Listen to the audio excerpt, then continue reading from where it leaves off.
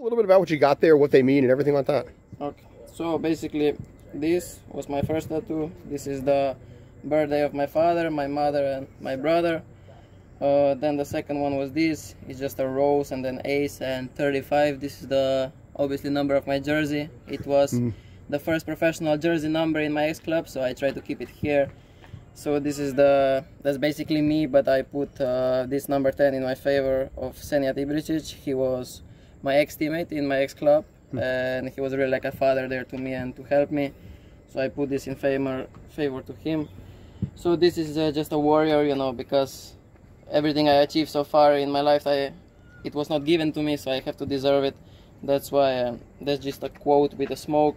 Uh, always remember why you started, fight for the people close to you, and make them proud. Obviously, that's for my family and closer friends. Nice. You said you had more on the horizon. More is coming. Nice. Are you going to give us a preview, or going to be that's going to be private? Uh, to be honest, I don't know my whole sleeve yet, um, but I have some ideas. But first, I need to talk with my mom and dad also. So I you, need to get green light. You have to get permission from the parents first. Nice.